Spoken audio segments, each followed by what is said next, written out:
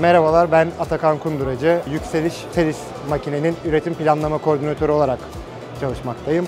Şirketimiz 1964 senesinde dedem Ahmet Kunduracı tarafından kurulmuş ve hala faaliyetine devam etmekteyiz. Şirketimizin ana üretim makineleri temizleme, değirmen üstünedir. Anahtar teslimi projeler yapmaktayız. Dünyanın genel olarak her tarafına üretimimiz, projelerimiz ve makine ekipman teslimatlarımız bulunmaktadır. İDMA fuarına ilk katılışımız değil, önceden e, defalarca katıldık. İDMA fuarlarını genel olarak beğenmekteyiz. Bu fuarda da özellikle ilk iki gün başlangıçtan itibaren yoğun geçti.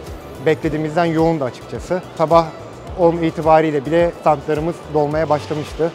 Değirmencilik sektörü için güzel bir fuar. Muhtemelen her zaman katılmaya devam edeceğimizi düşünüyorum. Çünkü potansiyel olabilecek müşterilerimiz, önceki müşterilerimiz her zaman ziyarete gelmekte. E, Fuara katılmaktan da mutluyuz.